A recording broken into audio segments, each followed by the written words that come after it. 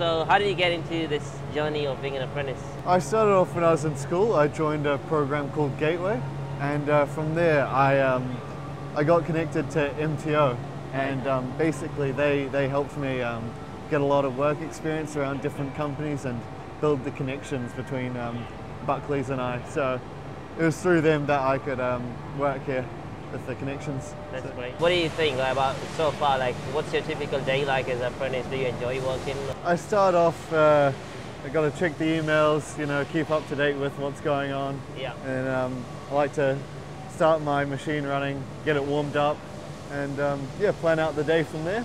But otherwise, that is just making sure my machine keeps running, and uh, yeah, hopefully don't break it. Right. What is the most unexpected and interesting thing that you've learned as an apprentice? I didn't expect how the tiniest thing could impact the part so much, like um, yeah. like how much you tighten a vice can easily throw it off tolerance or Yeah, yeah. something like that. Yeah.